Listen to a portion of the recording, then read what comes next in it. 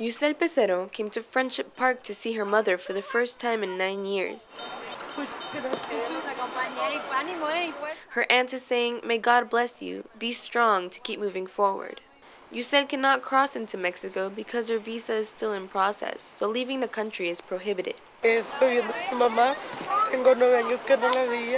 I'm seeing my mom. It's been nine years since I last saw her, and it's difficult for me to be leaving her again. To know that I can't touch her and that I have to leave. Years ago, Friendship Park was a place where families could come see and touch one another, even if just that. But the recent fences and rules in place here make touching impossible. Enrique Morones, a member of the Friends of Friendship Park Coalition, is helping to make the park an open space where people on both sides of the border can come in and interact people want to go there to have that touch with their neighbors, express that love across the border. And how can you do that if you're standing in a cage? Although Yusel got to at least see her mother today, not everyone was so lucky. This woman was deported back to Mexico from the U.S. She's here waiting for her husband who has cancer and remains in the United States. They haven't seen each other in over a year.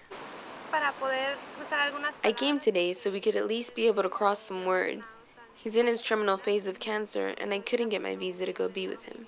The road to Friendship Park has been flooded for a few weeks now, so it was impossible for this woman's husband to make the 35 minute hike up to the park in his advanced stage of cancer. It's difficult and sad to come see your family without being able to hug them or kiss them. It's difficult. For JMS Reports, Diana Barreto.